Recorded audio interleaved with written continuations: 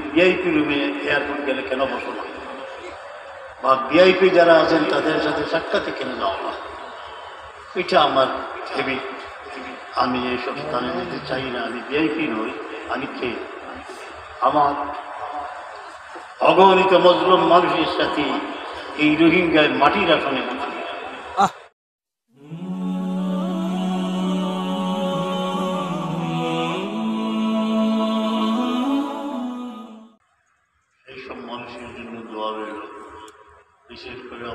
গোসাল এখন যে স্ট্রাগল ধরে ফেস করতেছে ইনশাল্লাহ সফলতা আসবে। ইনশাআল্লাহ। যারা মানব থেকে মানুষের আমাদের মানবের সন্তান পূর্বে রূপায়িত করার চেষ্টা করতেছে আশা করি তাদের লেস বসে করবে অধিবেশী জঙ্গলে তারা আসলে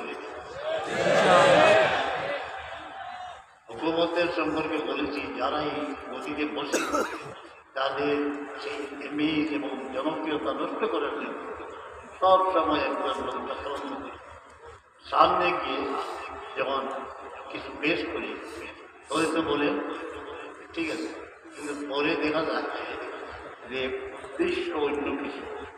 একটা আন্দোলন আরম্ভ যদি হয়, তবে তিনি গতি থেকে সরে যেতে অথবা বিরাট হবে। এই সব সময় চক্রান্তের মধ্যে তারা থাকে ওদের মধ্যে আছে মুরতদ আছে নাস্তিক আছে মুরতদ নাস্তিক। এই ধরনের হুকুমত অনেক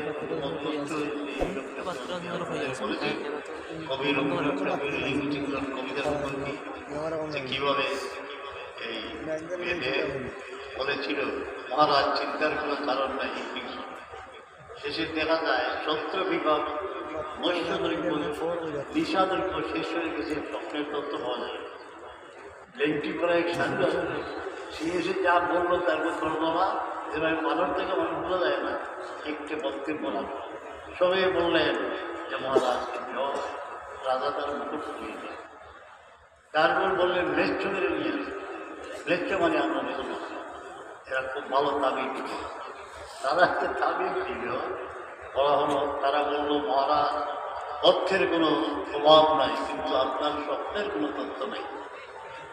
আমাদেরই গল্প করি সেখানে অর্থে পিঠে বেরো এটা কবির কল্পনা, এটা বাস্তব কিছু না। আর ওই যে ইঞ্জিন সব বসিলেন তার পাত্র এখানে একদম মহল কাজা হয়ে যাচ্ছে, তারপরে এদিকে ফাঁসি দেওয়া হচ্ছে। কোনো হবে না, এই- এইরকম কিছু থাকে, যখনই জনগণের ভালোবাসার জন্য রাষ্ট্র পরিচালক পান, মানুষের আস্থা লাভ করেন, তখন কিছু দুরাচার তাকে ইমেজ নষ্ট করার জন্য গোপনে চেষ্টা করে, কারণ ওরা তাকে বানরের বাচ্চা আমরা এই পাঠশালায় পড়েছি বানরের গল্প খুব ভালো লাগে আমার। আমিও মানুষ সম্পর্কে অনেক গল্প লিখেছি কিন্তু যখন লিখি আমার কলম যে বানরের হাতে ধরেছি না, আমি এক আল্লাহর বন্দা নবীন হিসাবে এই বানর সম্পর্কে অনেক কিছু লেখালেখি আমার হয়ে গেছে। তার ইউনিট তৈরি সবাই পড়েছি। বানর কীভাবে আক্রমণ করতে পারে শ্রীলঙ্কারে করেছে এইগুলো আমি প্রথম থেকে শেষ পর্যন্ত অবগত আছি। নানা ধরনের ব্যবস্থা মাধ্যমে ইমাম সাবির অনুষ্ঠিত খাদ্য নিয়ে গেছে, খাবার দিয়ে দিল। দেখা যায় এর ভিতরে শুধু গাছ এগুলো বানরের খেলা। যারা আছেন, আমরা কেউ বলে যে তুমি ভিআইপি রুমে এয়ারপোর্ট গেলে কেন বসো না? বা ভিআইপি যারা আছেন, তাদের সাথে সাক্ষাতে কেন যাও না? এটা আমার হেবি আমি এইসব স্থানে যেতে চাই না। আমি ভিআইপি নই, আমি কে? আমার অগণিত মজলুম মানুষের সাথে এই রোহিঙ্গায় মাটির আসনে তাদের নিয়ে আমার খেলা। এটি মনার ওদের বাড়িতে আমি যাই। এবং তার মা সেরা চাটি বিছিয়ে আমাদের চা পরিবেশন করেন। এই পরিবেশ চেয়ে চার হাজার গুণ বেশি আমি মাটির আসনে বসতে চাই। এতদিন বেঁচে আছি যে অসহায় মানুষের সাহায্য করতে যারা এই ব্যাপারে চেষ্টা চালিয়ে যাচ্ছেন আপনারা যে পন্থা সহজ সরল হয় সেইভাবে এগিয়ে যাবেন। ইনশাল্লাহ সফলতা আসবে। আসবে।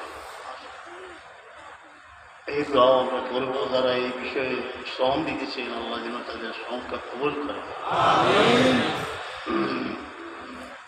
প্রোগ্রাম করবে। দৌলত প্রোগ্রাম করবা যাও ডোবা ডোবা না নিজে নিজে করো ডোবা নিজে করো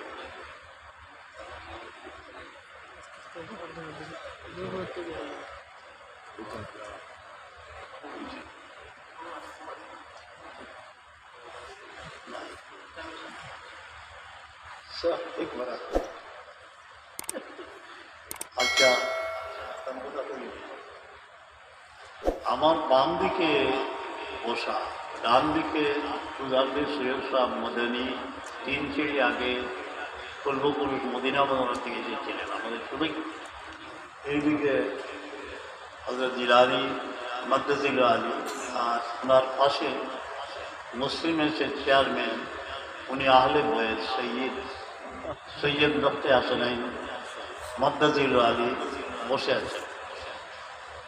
এবং তার উপরে ছায়া সমস্ত বিশ্বের মধ্যে অগণিত মসজিদ তিনি তৈরি করেছে এবং আমলাদের বাংলাদেশে প্রায় চারশত মসজিদ তৈরি করেছে মুসলিমের এবং যেখানে যে দুর্যোগ দেখা যায় পাহাড় দেখা যায় পাকিস্তানে বা যে কোনো স্থানে যেখানে দুর্যোগ দেখা যায় সেখানে হজরত সৈয়দ লফতে হাসানাই সাহেবের নির্দেশে সাহায্য সামগ্রী নিয়ে আমাদের মুসলিম ফ্রেন্ডস বাহিনী এগিয়ে যায় আমি একদিন দোয়া করেছিলাম যে রব্বে করিম, আমাদের কর্মীরা বিশ্বের বিভিন্ন স্থানে দুর্গম পদ অধিক্রম করতেছে, তুমি তাদের সাহায্য সেই দুর্গম পদের যাত্রী কাফেলা রাহবর হচ্ছেন তিনি।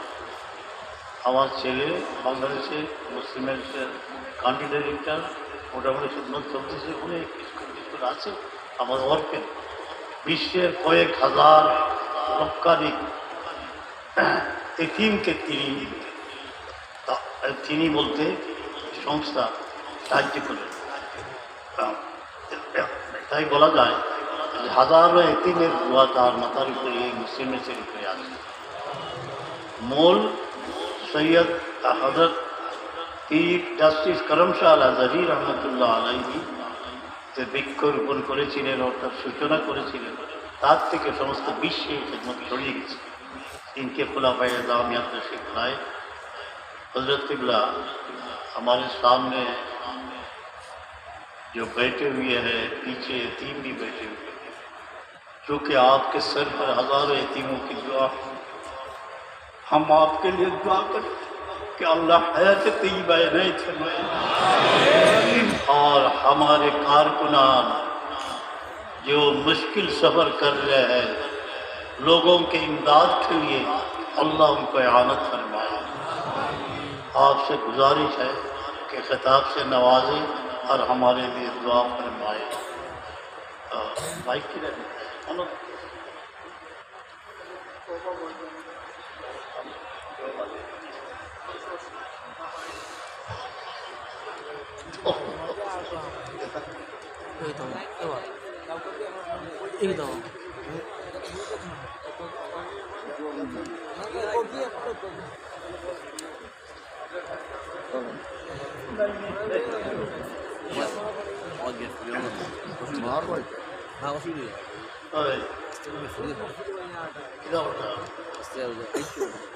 aku aku sekarang kayak puluh untuk aku